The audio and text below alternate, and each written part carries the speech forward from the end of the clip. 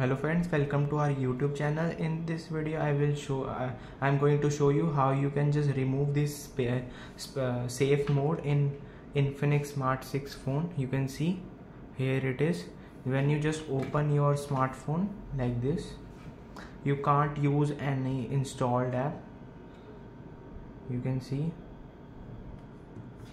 everything is disabled wages also disabled uh, how how you can just enable it by uh, pressing power button like this. And you can see the restart button. You have to just simply tap on restart. Hold it. It uh, can be restart. And in one minute it, it will be open. And now friends you can see it is restarting opening.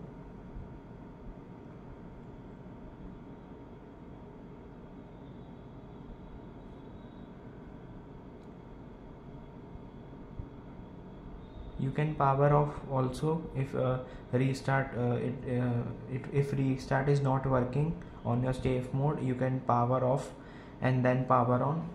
It will definitely works on your device. It simply removes safe mode in your device